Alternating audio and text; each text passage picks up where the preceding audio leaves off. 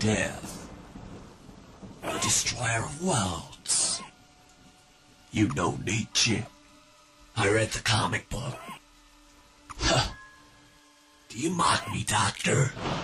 Never. I could crush your skull in one hand. How primitive. You forget your place. I wouldn't expect you to understand. Enlighten me.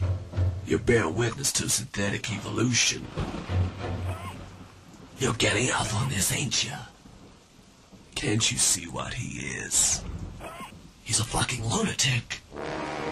He's the beginning and the end. The Alpha and the Omega.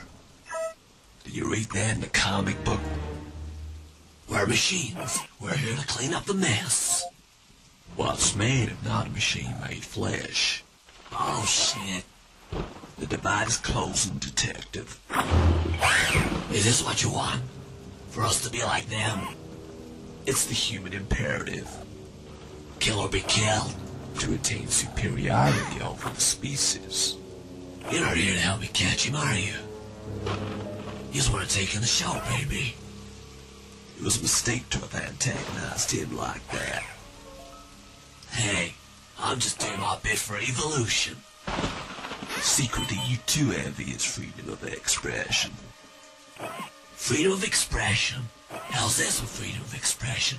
When I find a little tin man, I'm gonna put the fear of God into him.